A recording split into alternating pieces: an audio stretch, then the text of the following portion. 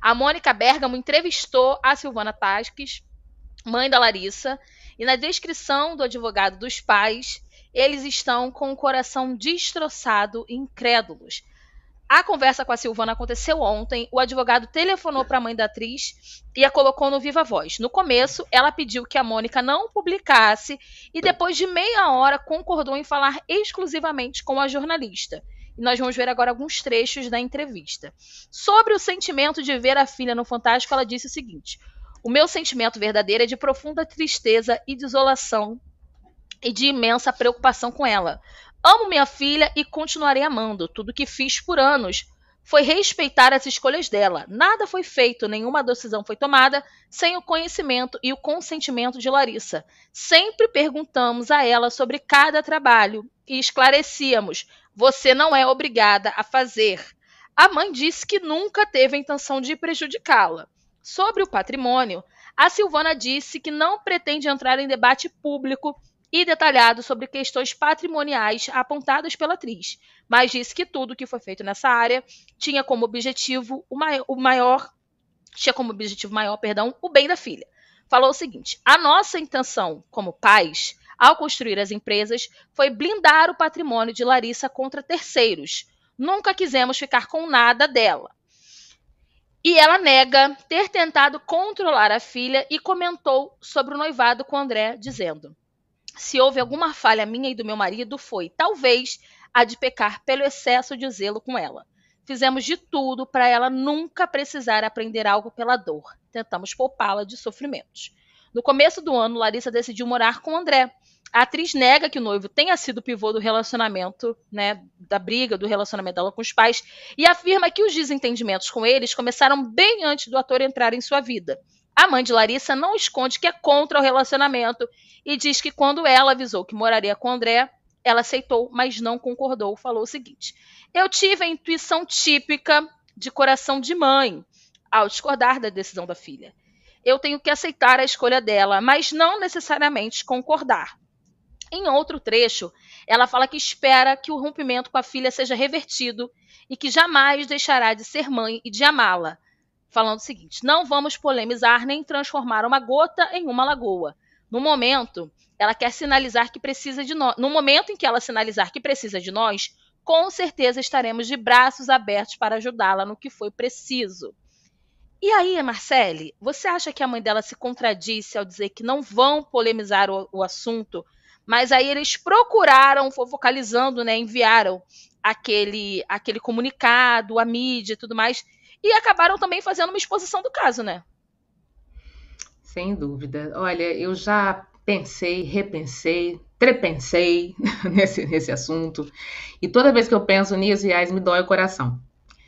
É, enfim, é, é, meio contraditório mesmo, né? Porque quem começou a, a expor essa história foram os pais, se não me engano, pela cronologia das coisas. Eu acho que foram eles que, né, mandaram a carta uhum. e foi focalizando, acabou é, é, falando, né, exibindo a carta, comentando o lado deles. Justamente por conta dessa história que começou a acender a luzinha com a, a mãe não, não seguindo mais a filha, né, no, no, no Instagram Sim. e começou a levantar, e tá acontecendo alguma coisa, enfim, foi, foram escrafunchar aí e acabaram levantando essa, essa história e os pais, para se defender, né, na, na, visão deles, mandaram essa carta. Enfim, acho que tudo começou por ali, né? Sim.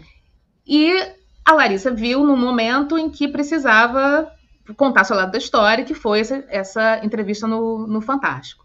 Então, assim, é meio, é meio é, é contraditório isso. Não quero expor, mas é a gente que começou expondo a situação no, que estava envolvendo, né? A gente, que eu digo os pais, né? Expondo essa situação. É, o, o, que eu fico é, é, cabreira é o seguinte: ela agora, nessa história da Mônica Bergman, né, na, na, na, coluna, a mãe abre o coração, conta também né, o lado dela e tal, mas só que ela diz ali uma coisa que me pegou lá, o, o, o Yas, é que a gente não vamos entrar em detalhes a respeito dessa questão patrimonial. Sim. Por quê? Porque a Larissa entrou.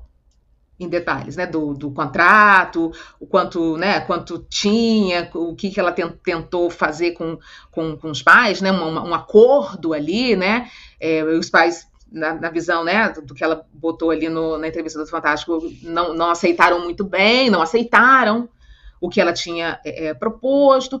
Quer dizer, eu acho que essa questão, já que está falando de uma questão, né, de, de dinheiro, de patrimônio, né, de, de quanto é, de, de, contrato, seria interessante ver o lado dos pais, assim, também, né? Ela não vai entrar em, em detalhes sobre isso, por quê?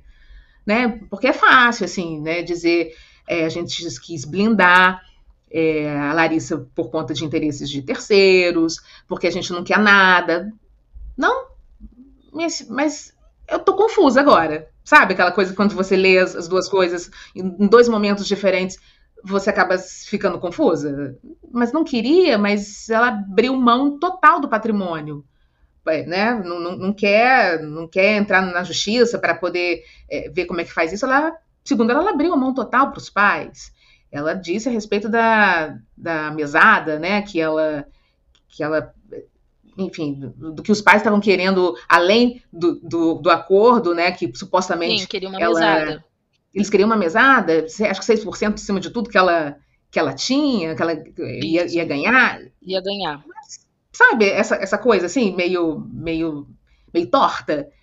Então, assim, eu acho que se, se contradiz. Eu acho que se está todo mundo abrindo o jogo, então também abra o, o, jogo nessa, nessa história de patrimônio mesmo, sabe? E, e vamos ver no que vai dar. É, olha, Yas, dói muito, muito mesmo meu coração porque ver uma família né, se, se esvair dessa forma, e é um caso assim que num, num, cada dia aparece um, uma nova história, né? Nesse, nesse imbróglio familiar aí. Sim. Então, assim, você acorda pensando, que capítulo eu vou assistir hoje? Né? Isso, que, que episódio exatamente. vai ser? O episódio vai, vai subir assim, né? Na, na legenda do episódio é o quê? O que, que vai ser hoje, né? A gente fica esperando é, é saber como é que isso vai se desenrolar e que desenrole da melhor maneira possível, né? Pra, assim, para ambos os lados, assim, que, se ela tem que tomar conta, tomar pé do, do, do patrimônio dela, de, de, de, gerir a carreira dela sozinha, que faça, porque já tem idade para isso e tem todo direito para isso. E que os pais, isso. os pais, é eles perderam uma oportunidade de desmentir, né, de alguma maneira, as coisas que ela falou, porque Sim. tem áudios da mãe dela falando que não abriria a mão de, de cuidar do dinheiro dela. Inclusive, tem áudios, né?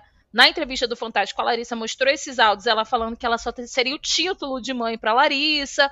Então, assim, já que começaram, né, como você bem disse, a desmentir, que desmintam de fato as coisas.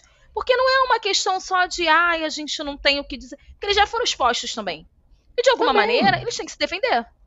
Porque, né? Exatamente. Estão sendo acusados. Que pessoa que fica sendo acusada, acusada, acusada e acha que tá tudo bem, não quer. Não é se expor, é se defender.